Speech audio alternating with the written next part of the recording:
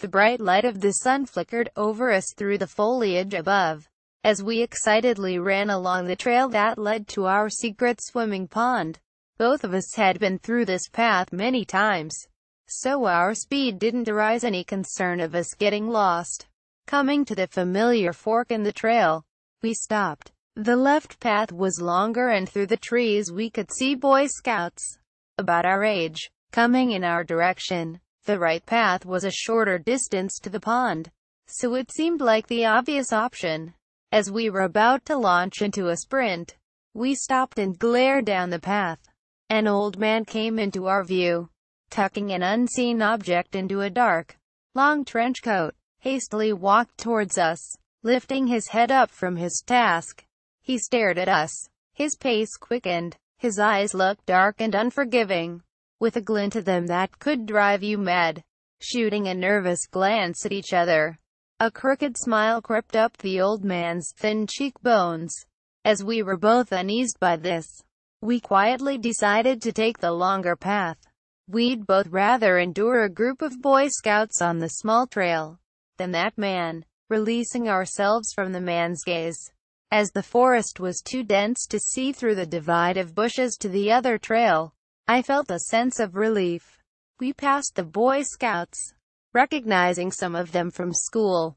It wasn't as awkward as we had previously thought.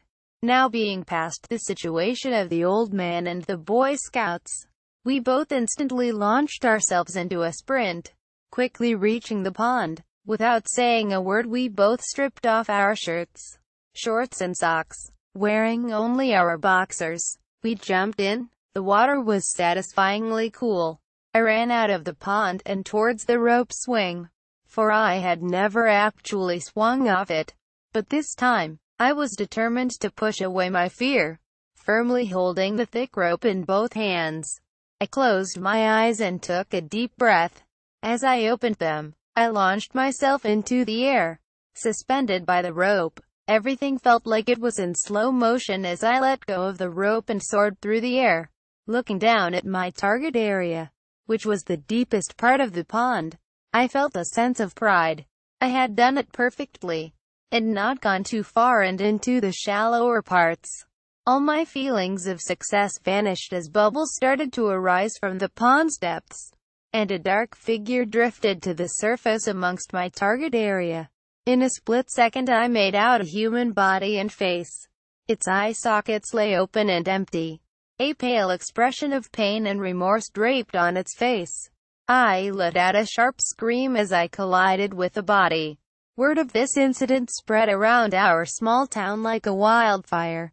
The police had been at our secret pond for days trying to find evidence to pin this on someone. To no avail. The body belonged to a woman who was extremely involved within the borders of our town. Everyone was devastated. The next day, our small community took another blow. Crying families and missing persons posters littered the town, bearing seven pictures of the boys we passed on the trail. I've told the police about the old man. That spark in his eyes is burnt into my mind. That crooked smile painfully echoes through my thoughts every time I picture it. The police sketch of the man is posted all over town as well and no one seems to even slightly recognize him. I don't know where those boys have gone, or even if they are alive, but I do know one thing.